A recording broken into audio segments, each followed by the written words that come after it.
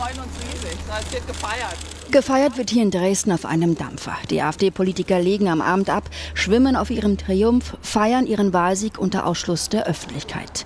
Hier in Sachsen landet die AfD nur knapp hinter der CDU, holt sich 27,5 Prozent der Stimmen. Ich glaube, es ist auch äh, der Tag, an dem dem Letzten klar wird, dass die AfD auf dem, äh, nicht auf dem Weg ist, sondern sich mittlerweile fest als Volkspartei in diesem Land etabliert. Etabliert hat sich die erst sechs Jahre alte Partei auch in Brandenburg. Dass sie mit 23,5 Prozent doch nicht vor der SPD gelandet ist, schmälert nicht ihren Jubel.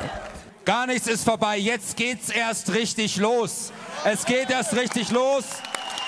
Es klingt wie eine Drohung an die anderen Parteien. Und wahr ist, eine solche Zustimmung haben die Rechtspopulisten bundesweit, mit Ausnahme 2016, noch nicht erreicht.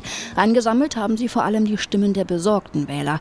Trotz verbaler Entgleisungen oder rechtsradikaler Vergangenheiten punktet die AfD in beiden Bundesländern vor allem bei Nichtwählern. Über 300.000 Bürger, die bei den Landtagswahlen 2014 nicht gestimmt hatten, stimmten für sie. Die Linke verliert ihren Status als Volkspartei, verlor die meisten Wähler an die die AfD.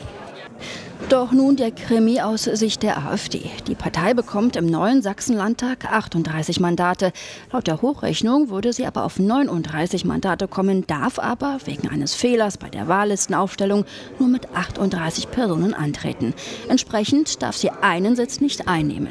Jetzt will die AfD rechtliche Schritte einleiten.